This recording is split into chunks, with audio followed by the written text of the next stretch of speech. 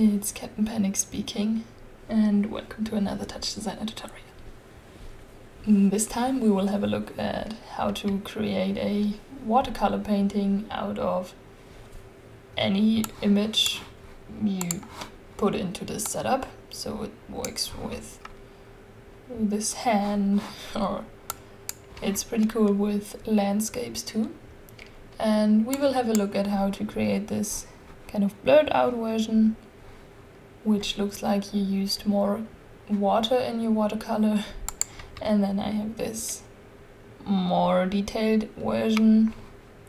And I also have a version where you have a little bit of structure and it's more like a gouache or oil painting maybe. I'm not that familiar with colors but I feel like it looks like you used a color with structure. So, um, yeah, uh, as always, we start from scratch and I will see you on my screen. There we go. and I already loaded in my image and set it to my resolution and connected it to the background so we can see what's going on.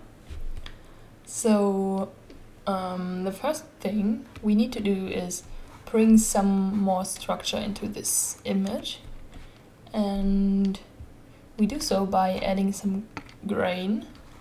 So what we will do is insert a comp after our fit and out of that fit we head into a noise and we change the noise type from simplex 3D to random GPU. So um, you can see this just creates a random kind of grain using our color coordinates. So when we connect this to our comp, we get some some grain on here. Um, and right now I'm going to keep all those parameters on default. We might make some changes later. So then I will add a null after this comp since we are heading into a feedback loop now. And I will create a composite here. So um, this composite will have the operation mode maximum. And then out of that null, let's put our feedback in. Connect this to the comp, make this one the target layer, and when we play we see nothing and this is completely fine. Since we will insert some stuff now and since we're using a still image, there's nothing going on. So now let's bring in some, some movement. And we do that by adding a displace after our feedback. And let's change the displace weight to null point null null one for now. And now let's take care of the map we are going to use to displace. So um, out of that feedback, I will create a, a noise and change the output to noise. So we just take the resolution of this feedback into our noise here. And also I will animate that noise. So we'll type abs time dot seconds and I'm going to multiply it with null point null one. So it's it has movement, but it's barely there. So just really, really slightly. And then I will copy that noise, since we will need two noises, which we will combine to displace. So um, let's have a look at the parameters of our first noise. So I want a lot of detail, so I will bring up the harmonics to 10 and in our second noise I will bring the harmonics to 10 too And in the second noise, I'm changing the seed to something else. So we don't have the same noise twice. And then, out of the, the first noise, we head into a reorder. And our second noise will be the second input of the reorder. And since our displacement only uses red and blue, we don't need any green input. So the output of the green will be set to zero. And then we want to bring in the second noise we have here. Right now we are only using the first noise because we only have input one here. So for our blue input, which will be the vertical source for the displacement, we will change to input 2. So now we combine those two noises in one map, which we can use to displace. So let's bring this in here. And now we can already see some effect going on. And right now our displacement is kind of cool, but I want it to be even more detailed and have more of this watercolor feeling. And to get even more details, we will copy each of these noises give us some space here. And we will use so for this noise. We'll go into the second input of this noise.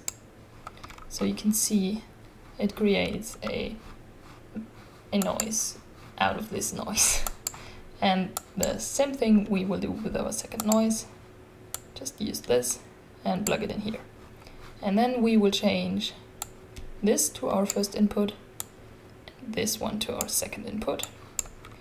And now you can already see we have more detail going on. So when we pulse our feedback, it gives us this really fine details, which is basically already a watercolor feed. Excuse me, I, have been joking. um, I won't cut it out. Uh, you just have to li live with this weird noise. Uh, you might know I love noise. so, um, yeah. And now I want to blur those edges a little bit more so it's it's like the one I showed in the beginning so we have this more water in our watercolor and actually what I'm going to do too is insert a keyboard in Chop so we can reset our feedback using our key 1. So we can start that over and over again since it's so cool. um, okay, um, you might hear that my PC is going a little bit crazy. I don't know why exactly, but Okay, so let's continue and let's bring in some more blur. And we will do that by bringing in a blur. okay, so now you can see we get those more blurred out edges, which are really cool, but a little bit too heavy. So I bring this down to two so it's really just slightly since now we will insert another displace to give us even more details and more fading out. So bring in a displace and once again we set this displace to a really low parameter so 0.001 is fine and then we give us some, some space here. And then out of this displace, we head into a comp and we will use our null here as the second input for the comp. Set the operation mode to soft light and then head into a slope and change this to strength 5 and step sample step 5 5 and then let's plug this one in here And now we have more, a little bit of more details and evolution in our displacement. So it's kind of, if we set this to a higher, higher number, you can see it a little bit better. So we get more evolution and those colors mix into each other pretty well when you insert that second display So it adds some really nice details and fluffiness to our watercolor. So, okay.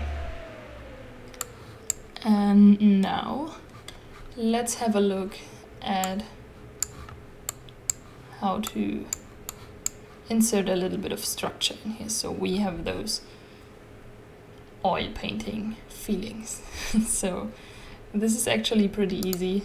Uh, I will insert a composite and out of this I will add into a emboss.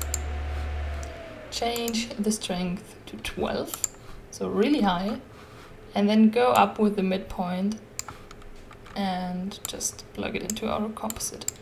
And there we go. So um, now you can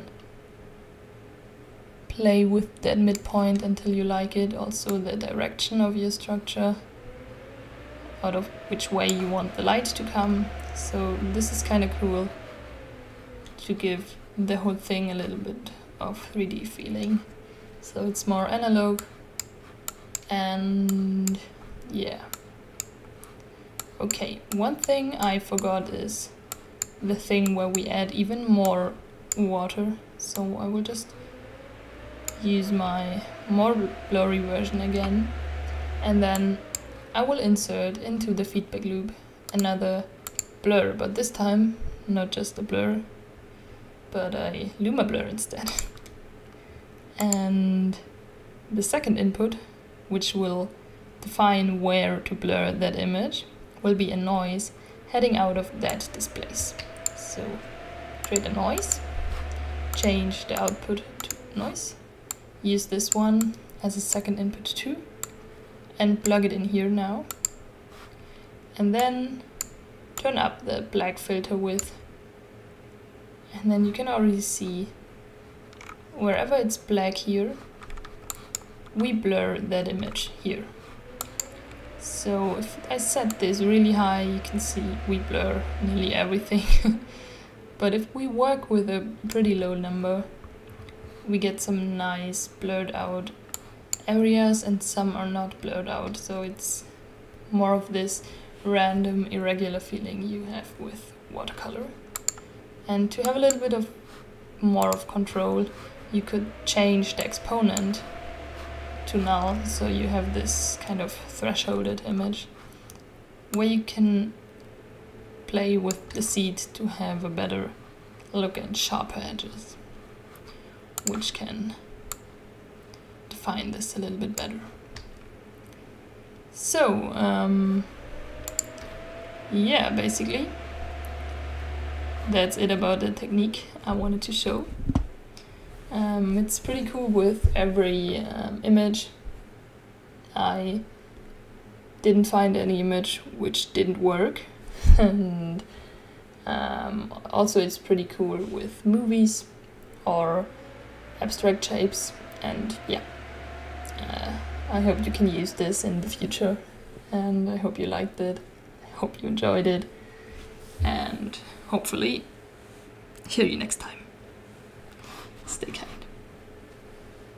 And bye bye